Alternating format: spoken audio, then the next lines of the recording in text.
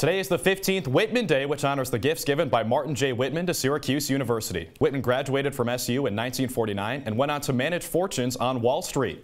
And Citrus TV reporter Brendan Tierney joins us from inside the Whitman School with details on the day's significance. Brendan?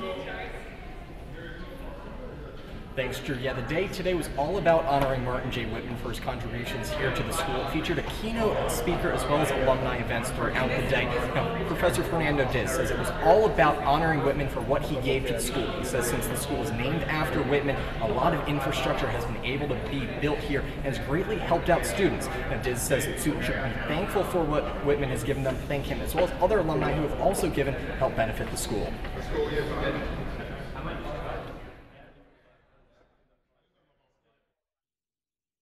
Interact with them, get get to know them, and get to know the community and so the, the community that they belong to. That oftentimes students don't quite realize they have, um, and I think that's uh, instrumental. You know, having Mr. Whitman to talk to doesn't happen very often, and so uh, it's a great opportunity for students. Uh, One of Whitman's greatest assets is the Orange Value Fund, which is celebrating its 10th anniversary.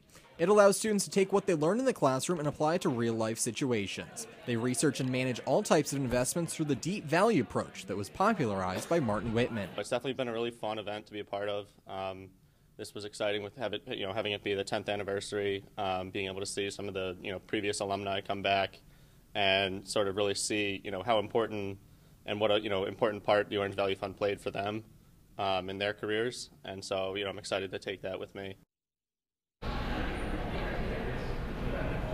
Now, the Orange Value Fund started with $1.1 million 10 years ago. Since then, it's grown to $5.5 million. That's all money that students are able to take what they learn in the classrooms and apply it directly to real world incidents. And because of that, people who are part of the program have a 100% job placement ratio. Not too bad at all. Reporting live at Whitman, Brendan Tierney, Citrus TV News.